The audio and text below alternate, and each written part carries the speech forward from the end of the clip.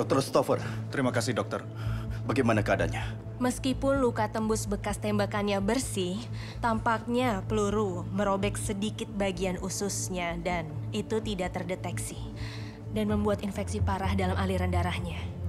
Maaf, sayangnya Valen kini mengalami koma.